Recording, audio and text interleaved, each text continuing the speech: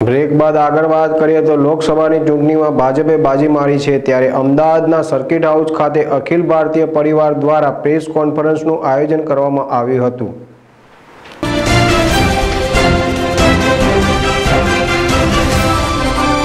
લોકસભાના પરિણામ આવી ગયા છે ત્યારે ભાજપે કોંગ્રેસના સુપડા સાફ કરી નાખ્યા છે. કોંગ્રેસને તેના ગઢમાં નસ્તે નાબૂદ કરી દીધી છે. સ્પષ્ટ બહુમતીથી ભાજપનો ભગવો લહેરાવ્યો છે. ત્યારે સત્તા પક્ષ બિરાજનાર તે તમામ સાંસદ સભ્યો અને ધારાસભ્યોને તેમને કરેલા વાયદાઓનું જ્ઞાન કરાવવા માટે અને તાજેતરમાં વિજયી બનેલા લોકસભાના સાંસદોને તેમની ફરજ અને જવાબદારીનું ધ્યાન કરાવવા માટે અખિલ ભારતીય પરિવારે કમર કસી છે. ભારતના અઢાર રાજ્યોમાં કાર્યરત એવી અખિલ ભારતીય પરિવાર જ્યારે પ્રજા, પ્રજાકીય સંવેદના સાથે સાથે પ્રજાલક્ષી કામો કરીને અને પ્રજાના આશીર્વાદ લઈ રહી છે. ત્યારે હવે રાષ્ટ્રહિતની ભાવના સાથે આવનારા દિવસોમાં જરૂર જણાય તો રાજનીતિમાં પણ પ્રવેશ કરવાની તૈયારી બતાવવામાં આવી છે.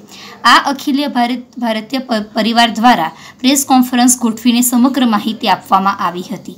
આ ઉપરાંત દેશના ચૌદ શહેરોમાં એક સાથે એક સમય પર આ પ્રેસ વાર્તાનું આયોજન કરવામાં આવ્યું હતું. જેનો મુખ્ય ઉદ્દેશ બે હજાર ત્રેવીસ સુધી દસ કરોડ ભારતીયોની આર્થિક સ્થિતિ સુધારવાનું છે.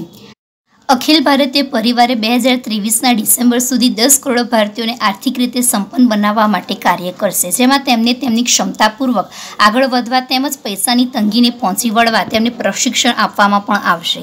આગામી આવનાર સમયમાં આ પાર્ટી પ્રજાલક્ષી અને ચૂંટાયેલા તમામ તમામ પ્રતિનિધિઓને લોકોના પ્રશ્નોને પહોંચાડવાનું કાર્ય કરશે. સરકારના રાષ્ટ્રહિત તેમજ જનતાના હિતમે લઈને કોઈપણ કામગીરી હશે, તેમાં પોતે સહભાગી થશે. તેમજ તેમના હક વિરુદ્ધ કોઈ કામગીરી થશે. તો તેમની સાથે ઊભા રહીને નવી સરકારને સજાગ કરશે. આ પ્રેસ વાર્તામાં સમા કાર્યકરો પ્રમુખ હોદ્દેદારો ઉપસ્થિત રહ્યા હતા. સમગ્ર દેશની અંદર જે પ્રમાણે ચૂંટણીના પરિણામો આવ્યા છે, ત્યારે સમગ્ર દેશની અંદર આજે ચોવીસ મે બે હજાર ઓગણીસના દિવસે સમગ્ર દેશની અંદર ચૌદ રાજ્યોની અંદર અખિલ ભારતીય પરિવારની પ્રેસ કોન્ફરન્સ થઈ રહી છે.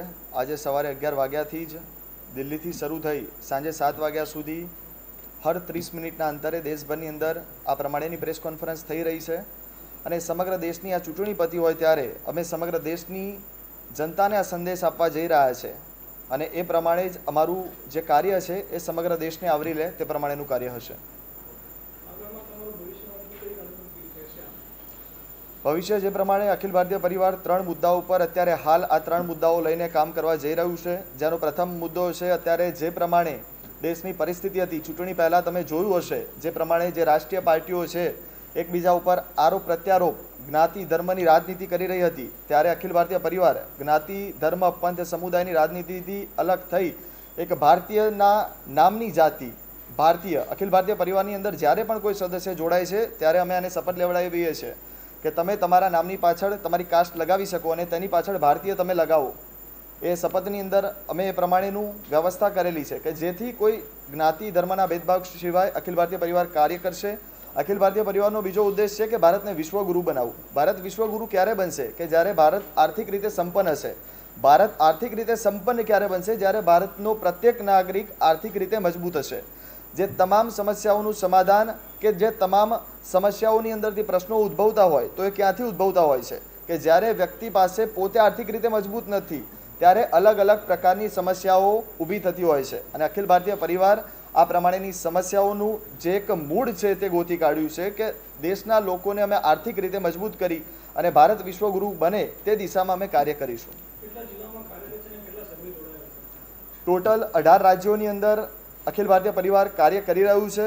જેમાંથી ચૌદ રાજ્યોની અંદર સ્ટેટ લેવલની બોડી, જે રાષ્ટ્રીય કક્ષાની બોડી હોય છે, તે પ્રમાણેની બોડી બનેલી છે અને અત્યારે હાલ કહી શકાય કે અઢારથી વધુ રાજ્યોની અંદર અખિલ ભારતીય પરિવાર કાર્ય કરી રહ્યું છે અને આગામી સમયની અંદર તમને જોવા મળશે, સમગ્ર દેશની અંદર અખિલ ભારતીય પરિવાર કાર્ય કરતું હશે.